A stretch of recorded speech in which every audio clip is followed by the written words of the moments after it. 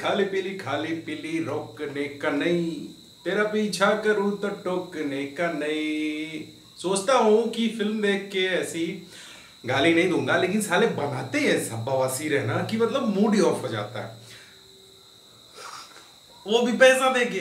अबे, मैंने तीन सौ रुपए में बाहुबली के जी जैसी फ़िल्में नहीं देखी। हाँ? ऐसे हॉल में गया जहाँ पे सौ, डेढ़ सौ रुपए रेट था। और तुम तीन सौ रुपए मांग रहे हो ये फ़िल्म टट्टी फ़िल्म देखने का। मतलब फ़िल्म भी देखूँ, पैसा भी दू। अबे तू पैसा दे मुझे ऐसी फ़िल्म को झेलने का। एज एन ऑडियंस बाप रे, दो घंटे लाइफ के झंड हो गए भाई साहब। कहानी क्या? नाइन्टीज वाली। हम्म? एक लड़की जो अभी वेश्या है, एक लड़का जो गाड़ी चलाता है, दोनों बचपन में साथ रहते हैं, अलग हो जाते हैं, फिर वो लड़की भागती है गुंडे के यहाँ से, मिल जाते हैं, फिर भागते रहते हैं, भागते रहते हैं भाई साहब, जयदीप पहलावत, भाई एक्टर कमाल के हैं वो, लेकिन एक अच्छे एक्टर को ले लेने से ना कहानी अगर आपकी टट्टी होगी तो वो कुछ भी नहीं कर सकते हैं हुँ? वही इस फ़िल्म के साथ भी हुआ है अनन्या पांडे को ज़रूरत है एक्टिंग सीखने की। भाई साहब मतलब उसको झेलना ना बहुत ही मुश्किल हो जाता है। उससे अच्छा तो यूट्यूब पे आप जाके ना कोई कॉमेडी चैनल के वीडियोस देख लो, वो आप झेल लोगे। अमित भराना का वीडियो देख लो, वो झेल लोगे। लेकिन अनन्या पांडे को झेलना ना बहुत ही मुश्किल हो जाता है, भाई। एक घंटे तिरपन मिनट की इस फ़िल्म को डायरेक्ट किया है मकबूल खान ने, और इसमें अगर कुछ झेलने लायक है तो वो है ईशान खट्टर। मतलब वो ठीक ठाक काम उन्होंने किया है और उनका फ्यूचर जो है वो ब्राइट है। बस थोड़ी सी मेहनत की ज़रूरत है, एक दो अच्छी फ़िल्मों की ज़रूरत है मतलब अच्छे डायरेक्टर्स की ज़रूरत है जो उनके पोटेंशियल को यूज़ कर सके।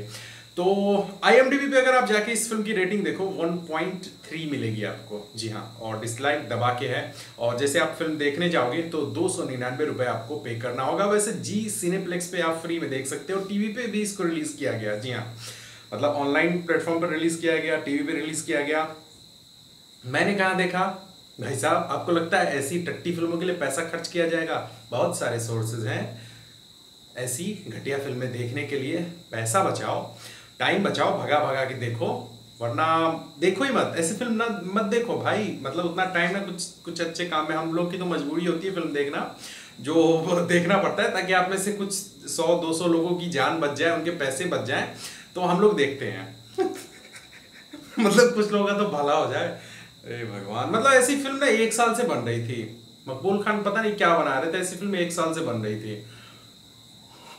किसी को पता है? आपके यहाँ पूछो कि ऐसी कोई फ़िल्म आ रही है, खाली पीली? गॉड और फिर बोलते हैं कि बॉलीवुड को टारगेट करते हो। अबे ऐसी फ़िल्म बनाओगे तो टारगेट नहीं तो और क्या करेगा? हम्म? धन्यवाद प्रभु, आप लोग को मुबारक हो। मैं बोलूँगा, मत देखो ये फ़िल्म पैसे बचाओ। अगर कहीं फ्री में मिल रहा हो तो देख लो, वरना देखो एक मत ऐसी फ़िल्म है। बहुत सारी और फ़िल्में हैं अच्छी अच्छी मिलते हैं फिर आपसे अगले वीडियो में। तब तक अपना ध्यान रखें, ऐसी फ़िल्मों से बचे, दूर रहें, वरना आपको दिमाग का कैंसर हो जाएगा। दिमाग का जो तीन फ़ेज़ होता है ना, एक फ़ेज़ आपका उड़ जाएगा, ढीला हो जाएगा, शॉर्ट सर्किट लग जाएगा। तो बस आज के इस वीडियो को यहीं पे खत्म करते हैं। आई होप आपको वीडियो अच्छा लगा होगा। अगर वीडियो अच्छा लगा तो वीडियो को लाइक कर दे कमेंट करो चैनल पर नए हैं तो सब्सक्राइब कर ले चैनल को और बेल आइकन दबा दें। Thank you so much watching जय हिंद